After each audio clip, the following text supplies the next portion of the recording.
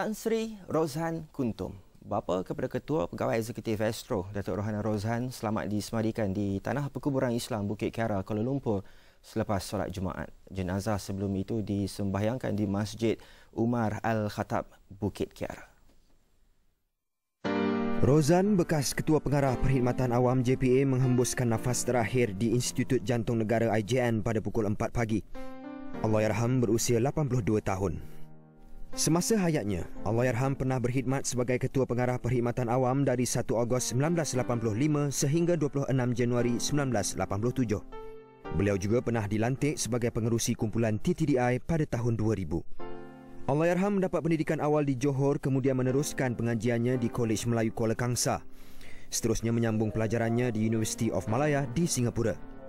Anak kelahiran Muar Johor itu memulakan perkhidmatannya dalam kerajaan sebagai penolong pegawai daerah Keluang Johor, kemudian berkhidmat dengan Ketua Menteri Pulau Pinang dan menjawat pelbagai jawatan tinggi lain sehingga 1963. Warga Astro mengucapkan takziah kepada Datuk Rohana Rozan dan keluarga di atas kepemergiannya.